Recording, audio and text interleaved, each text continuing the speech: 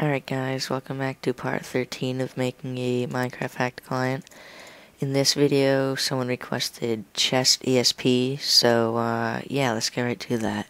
First off, I'm going to leave another massive rendering method in the in the description below. So this pretty much just draws a box around the tile of a chest. So um, yeah, here it is. Um, yeah, that's that. Next, let's go into our mods package. Make a new class called chest ESP. Um, let's do extends module. Add constructor. I think we all know how to do these by now.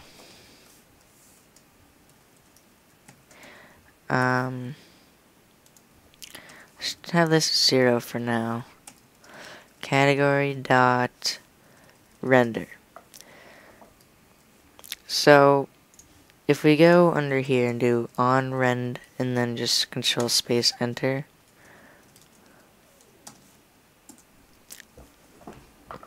Let's first check if it's toggled. If this dot is toggled,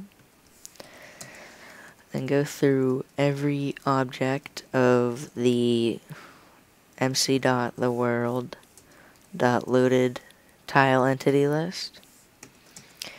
And then if o is a tile of the chest uh, instance of again control shift o then we're going to do render utils dot block ESP. And then we're gonna do cat. We're gonna cast this to a tile entity chest. So tile entity chest o dot get pos. So yeah, let's go ahead and add that. Add mod. New chest ESP. And yeah, let's see if this runs.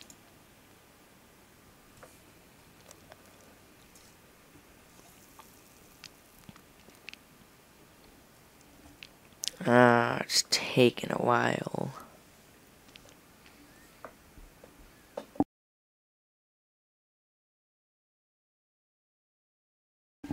Okay, so, oh, let me just put this over here. So if we... Oh, is this... Oh, let's see if this works. Okay, I need to make a new world. let's name it test. Oh god. Okay, this up. Uh, let's get chest.